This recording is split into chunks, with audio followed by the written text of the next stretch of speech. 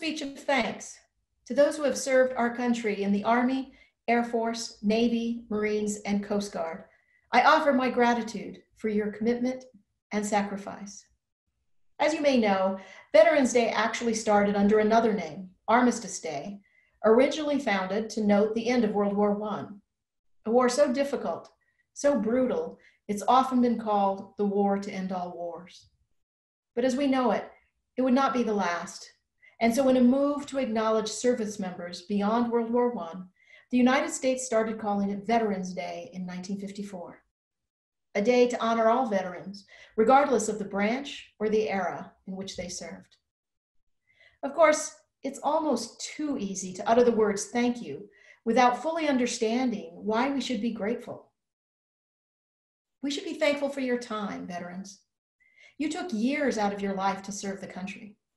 People join the military for all sorts of reasons a commitment to the ideals of the United States, a deep interest in the branch of service you joined, the opportunity to learn new skills, the promise of continuing education after service.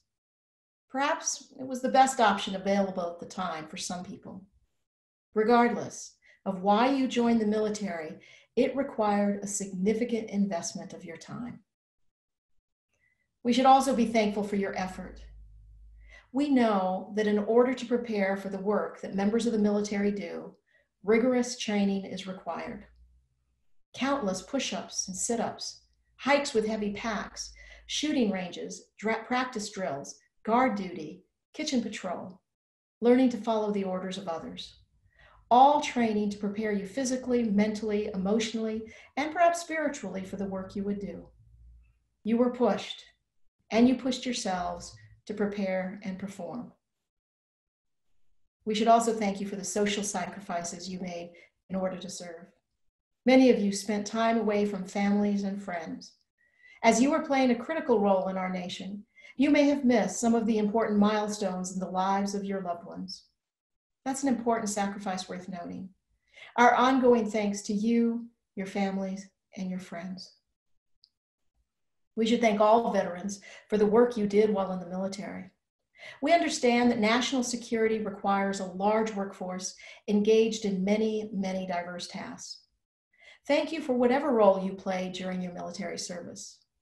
And for those of you who are war veterans or combat veterans, we offer thanks for the challenges you faced and the risks you took for the sake of others. And so while we can say thank you quickly, in less than a second, we mean so much more than that. I want to make one final comment, and this one is for non veterans.